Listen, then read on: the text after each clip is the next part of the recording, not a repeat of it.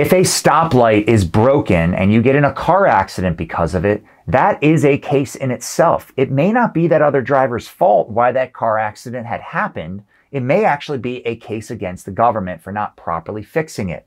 If that situation ever happens to you, know that you may have a case, whether you know it or not.